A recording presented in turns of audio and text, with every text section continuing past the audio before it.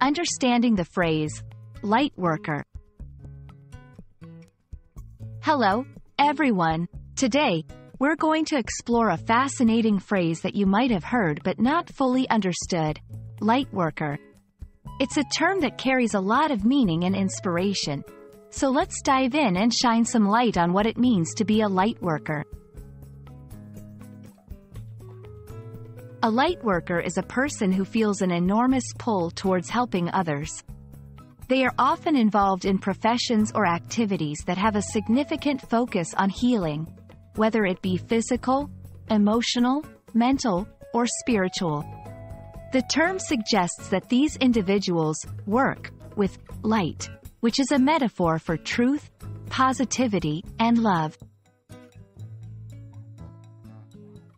Lightworkers are known for certain traits that define their approach to life and their interactions with others. They are typically empathetic, intuitive, and possess a desire to heal the world. They are seen as beacons of positive energy, spreading kindness and compassion wherever they go. Their goal is to bring about positive change and to help others realize their own potential. You might find light workers in various roles, such as therapists, coaches, mentors, or volunteers. They are not confined to any one profession or lifestyle. Instead, they are defined by their intentions and actions that contribute to the greater good. They often feel guided by a higher purpose to elevate the collective consciousness of humanity. Are you wondering if you might be a light worker? Reflect on your natural inclinations. Do you feel a strong sense of purpose towards helping others?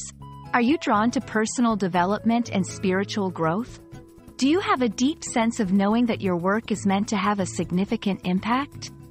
If these resonate with you, you might very well be a light worker. I hope this video has illuminated the concept of a light worker for you. These individuals are truly special, bringing light into darker places and helping others find their way.